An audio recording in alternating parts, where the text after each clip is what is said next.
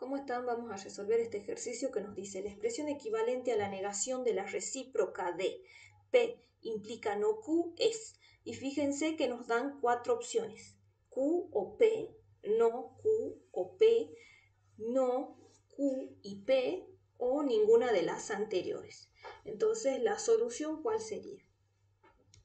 Fíjense que lo que nos dan como dato es la forma directa. P implica no Q es la forma directa no Q implica P sería la forma recíproca.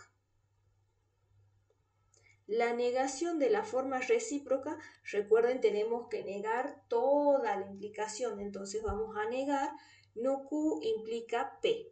Esto es equivalente, fíjense, acá tengo la negación de una implicación. Cuando teníamos la negación de una implicación del tipo P implica Q, ¿qué teníamos? La negación era P y no Q. Entonces, el antecedente lo dejamos tal como está. Este implica, va a desaparecer y va a aparecer una conjunción. Y la segunda proposición se negaba. Entonces acá nos queda no P. Muy bien, entonces tengo que la negación de la forma recíproca es no Q y no P comparo y fíjense que acá tengo Q o P, entonces esa no es, acá tengo la negación de Q y P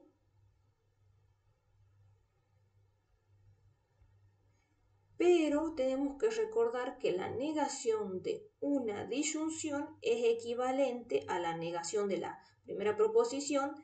Esa disyunción va a convertirse, ese O se va a convertir en el correctivo lógico I, y voy a negar la segunda proposición. Entonces, fíjense que negar Q o P es equivalente a decir no, no Q y no P.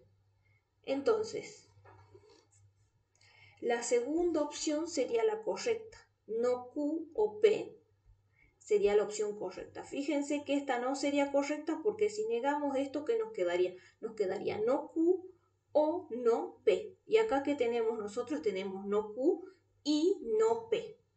Entonces con esto se concluye que la negación de la forma recíproca es no Q y no P. Y también sabemos que esto es equivalente a la negación de Q o P.